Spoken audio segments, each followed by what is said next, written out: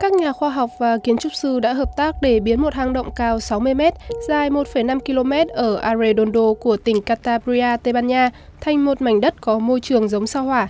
Để được trải nghiệm, du khách sẽ phải tham dự khóa huấn luyện trên mạng trong 26 ngày và sau đó là huấn luyện thực tế 3 ngày.